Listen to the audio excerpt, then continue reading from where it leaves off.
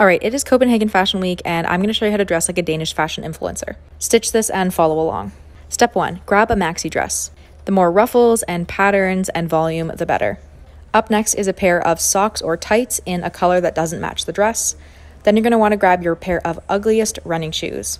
On top of the dress, you're going to add a knit layer, a vest or cardigan works, then a balaclava, some ugly chunky glasses, an oversized dress coat of any color, it's business and party, baby.